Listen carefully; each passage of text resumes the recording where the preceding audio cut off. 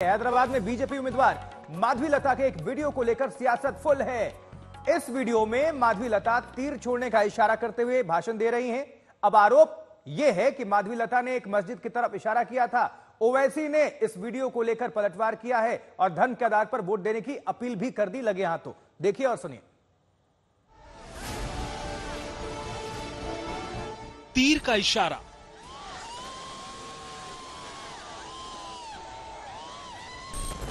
कहाँ लगा तीर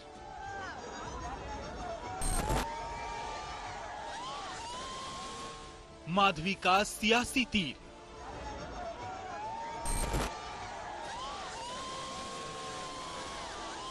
दस सेकंड का ये वीडियो रामनवमी के दिन का है, जब हैदराबाद से बीजेपी की उम्मीदवार माधवी लता चुनावी प्रचार के लिए निकली थीं। वो खुली जीप में सवार थी और साथ में थे जोश से भरे सैकड़ों समर्थक, लेकिन इस बीच माधवी के इस प्रतीकात्मक एक्शन पर सियासत सुलग गई।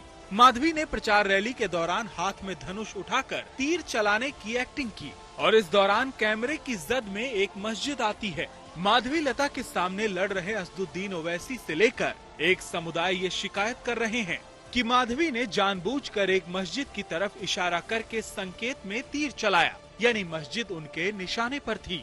फिर से देखिए कैसे एक 10 सेकंड का वीडियो सियासी मुद्दा बन गया। माधवी संकेत में तीर चलाने के बाद हंसती भी हैं। उनके इस मूव पर रैली में शामिल लोग भी जोश से भर उठते हैं और मुस्कुरा देते हैं। लेकिन अब माधवी कह रही हैं कि उनके वीडियो को एडिट कर दिया गया था।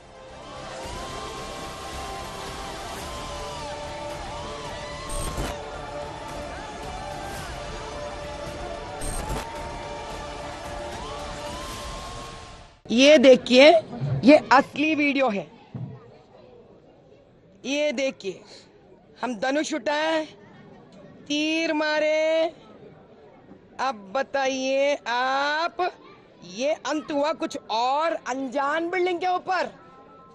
अब इसका देखिए कैसा बद, बदल दिए लोग। चुनाव और सियासत में प्रतीक और संकेतों की बड़ी अहमियत होती है। हर चीज़ खुलकर बोली कही नहीं जाती। और ऐसे में माधवी का ये तीर, भले ही किसी अनजान इमारत पर चला हो, लेकिन ये लगा कहीं और है।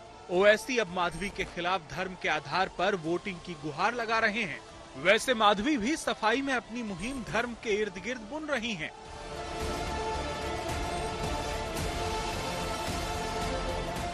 वो अपने प्रचार के दौरान मंदिर मंदिर जाना नहीं भूलती। कभी वो डोसा बनाकर लोगों के करीब जाने की कोशिश करती हैं, तो कभी मंदिर में दस्तक देती दिखती हैं।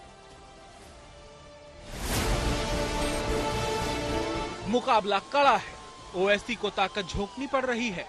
लेकिन बड़े भाई के प्रचार में उतरे अकबरुद्दीन ओवैसी कहते हैं कि बीजेपी ने उनके खिलाफ भी एक महिला को उतारा था। इस बार भी एक महिला को उतारा है। धर्म पर हैदराबाद की जंग परवान चढ़ रही है। चंद्रायन गुट्टे में मेरे खिलाफ भी एक महिला को उतारे थे और आज भी उतारे कोई नई बात नहीं। तो क्या लग रहा है सर इस बार कोई फ़र्क नहीं पड़ेगा? मैंने आपके सवाल का पहले ही जवाब दे दिया कि रिकॉर्ड अक्सरियत से हम कामयाब होंगे। देखना है नतीजा क्या होगा। ब्यूरो रिपोर्ट आज तक।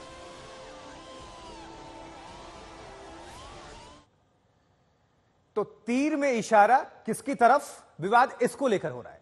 आपको सुनवाते हैं ओवैसी और माधवी लता ने इस पर क्या कुछ कहा है। अब आप देख रहे हैं कि एक बीजेपी के उम्मीदवार किसी एक इबादत गाह की तरफ़, मस्जिद की तरफ़ रुख करके इस तरह से इशारा कर रही है कि उसके तरफ़ तीर मारेंगे। अब भी आप वोट नहीं देंगे। इससे पता चल रहा है ऐसे कितने गलत फहमियाँ ये लोगों के बीच में भी जा रहे हैं। ये लोगों से नहीं हो रहा। हिंदू, मुस्लिम, एकता में जो हम लेके आ रहे हैं ना, सबका साथ, सबका विकास। इससे सब पर पट रहा इनका ऐसा। और अभी मैं बता रही हूँ, कुछ नहीं कर पाओगे आप। कुछ नहीं कर पाओगे आप। सबका साथ, सबका विकास शुरू हो गया है और देश आगे जाने वाला है। तो हैदराबाद के चुनावी मैदान में तीर और बीफ पर जंग जारी है। भारतीय जनता पार्टी उम्मीदवार माधवी लता ने मस्जिद की तरफ़ पहले इशारा करके सांकेतिक तीर साधा तो वैसी ने इसे मज़हब और वोट से जोड़ दिया। ओवैसी फिर चुनावी दौरे पर निकले तो एक मांस दुकान रास्ते में पड़ी। फिर देखिए क्या कहते हुए वो आगे बढ़ गए। वो सीएए और एनआरसी को लेकर हर मुद्दे को हवा दे रहे हैं, ताकि पूरी जंग को धर्म के इर्द गिर्द घुमाया जा सके। रेहान बीफ शॉप जिंदाबाद पहले से भाई गुलाम वाले काटते रहो आप रेहान बीफ शॉप जिंदाबाद पहले से भाई गुलाम वाले काटते रहो आप Rehan beef shop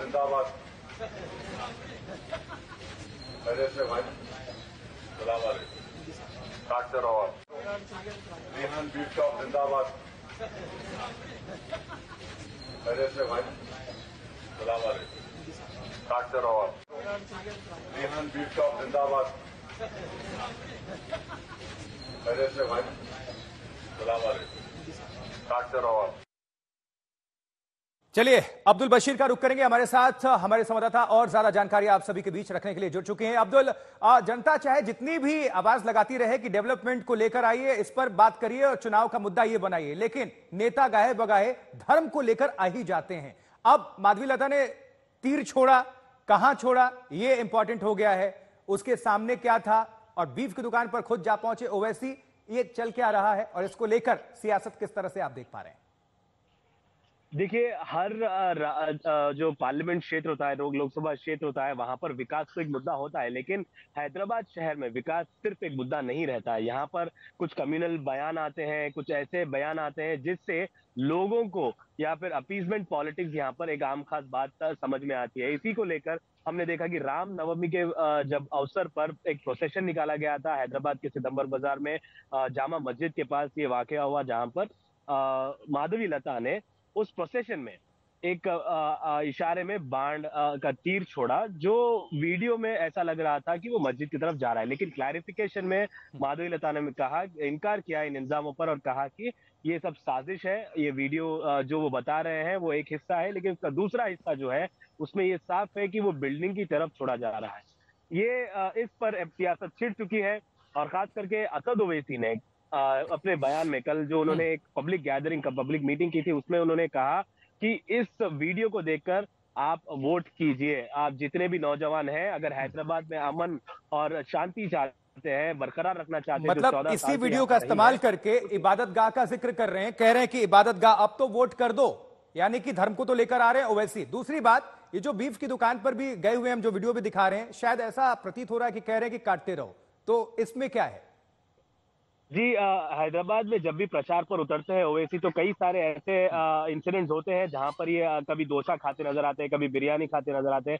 उसी दौरान आज के जो उन्होंने दौरा किया था पैदल दौरा उसमें एक बीफ शॉप से गुजर रहे थे जहाँ पर उन्हें उन्होंने Rahim beef shop Rehan beef shop जिंदाबाद कहा है। और साथ में काटते रहो मतलब अपना काम जारी रखो ये उनका संकेत था उस पद यात्रा के दौरान उस पैदल दौरे के दौरान जब वो हैदराबाद के पुराने शहर में अपना दौरा जारी रखे थे तो इस ठीक है को लेकर विवाद छिड़ चुका छिड़ चुका है। ठीक है अब्दुल नज़र बनाकर रखिएगा बहरहाल आपका बहुत शुक्रिया। लेकिन उसी बयान का अब दूसरे लोग चाहें तो अलग मतलब निकाल सकते हैं। चुनाव है अपने अपने तरीके से लोग कोशिश करते हैं कि उसमें लेकर आए अपने मुद्दे को और जनता के बीच जाएँ वोट हासिल कर लें। खैर इस विवाद के बाद माधवी लता ने कहा है कि वीडियो को एडिट करके पेश किया गया है। माधवी ने ओवैसी पर लोगों को गुमराह करके वोट हासिल करने का आरोप लगाया है। आज तक ने माधवी लता से खास बातचीत की। ये देखिए ये असली वीडियो है। ये देखिए हम धनुष उठाए तीर मारे। अब बताइए आप ये अंत हुआ कुछ और अनजान बिल्डिंग के ऊपर? अब इसका देख के कैसा बद, बदल दिए लोग? इससे पता चल रहा है ऐसे कितने गलत फहमियाँ ये लोगों के बीच में भी जा रहे हैं। ये लोग से नहीं हो रहा। हिंदू, मुस्लिम, एकता में जो हम लेके आ रहे हैं ना, सबका साथ, सबका विकास। इससे सब पर और अभी मैं बता रही हूँ, कुछ नहीं कर पाओगे आप। कुछ नहीं कर पाओगे आप। सबका साथ, सबका विकास शुरू हो गया है और देश आगे जाने वाला है। अरे आपको मैंने दिखाई दिया है असली वीडियो कौन सा है? या मस्जिद ही नहीं आया। ऊपर से वो मस्जिद के ऊपर एक सफ़ेद पर्दा था। साहब हम भी मानते हैं हमारे लिए मंदिर कितना मुख्य है हमारे लिए मस्जिद भी इतना ही मुख्य है। कितना अहमियत मंदिर रखता है उतना ही अहमियत मस्जिद रखता है। क्योंकि मंदिर में चाहे या मस्जिद में एक ही सिखाया जाता है शांति को कायम कर रखने के लिए पसमंदों के लिए काम करने के लिए। ये तो एम एम जैसे लोग हैं ना जो किराए के घर से निकलकर पसमंदों के खून से अमीर बन जाते हैं सात एकड़ों में शानो शान महल बनाकर। ये लोगों को क्या आता साफ़ करने के लिए? एक गलत वीडियो निकाल लेते हैं। क्योंकि मैं सही वीडियो दिखा दिया आपको। गलत वीडियो निकालते हैं और क्या करते हैं? नौजवानों को भड़काते हैं। खत्म हो गया ना इनका काम? ये बैठे महलों में। पत्थर इन लोगों को या के नहीं मारता? वो बेचारा नौजवान मुसलमान जो ये वीडियो देखकर भड़क जाता है रोड पे निकलता है। दो मार तो दो, दो, दो लोगों को मारता है या दो मार खाता है? तो माधवी लता अपनी तरह से हैदराबाद की जंग लड़ रही हैं तो दूसरी तरफ़ फायर ब्रांड राजा सिंह भी ओवैसी पर तीखे प्रहार कर रहे हैं। अगर इनको भारत का वाइस प्रेसिडेंट बना दो तो ये हामिद अंसारी बनकर कहेंगे कि भारत का मुसलमान खतरे में है। अगर इनको हम भारत का वाइस प्रेसिडेंट बना दो, अगर जम्मू कश्मीर का मुख्यमंत्री बना दो तो फारूक अब्दुल्ला महबूबा मुफ्ती मुफ्ती बनकर कहेंगे कि कश्मीर पाकिस्तान का हिस्सा है। अरे, अगर इनको मिनिस्टर बना दो तो सिद्दीकुल्ला बनकर ये कहेंगे कि ज्ञानवापी में पूजा रोकी जाए। अरे, अगर इनको सांसद बना दो तो ओवैसी जैसा बनकर पंद्रह मिनट का टाइम पूछेंगे। अगर इनको विधायक बना दो तो पंद्रह मिनट का टाइम पूछेंगे। मेरी इस बात को याद रखिए कि जो लोग हमारे वजूद के खिलाफ हैं, जो लोग हमारी शनाख्त को मिटाना चाहते हैं, जो लोग हमारी तहजीब को खत्म करना चाहते हैं अल्लाह उनके हरकतों से हमको बता रहा है कि देखो ये लोग ऐसे हैं। कुल मिलाकर असदुद्दीन ओवैसी धर्म के नाम पर ही मज़हब के आधार पर ही वोट करने की अपील कर रहे हैं लेकिन भारतीय जनता पार्टी पर निशाना साधना नहीं भूलते उन पर आरोप लगाते हैं। जब हैदराबाद में पहुँचे बीफ की दुकान पर एक बार फिर से आपको दिखाते हैं और सुनवाते हैं कि क्या कुछ कह रहे थे ओवैसी। रेहान बीफ शॉप जिंदाबाद। से भाई, सलाम डॉक्टर काटते रेहन बीट शॉप जिंदाबाद। से भाई, सलाम डॉक्टर काटते रेहन बीट शॉप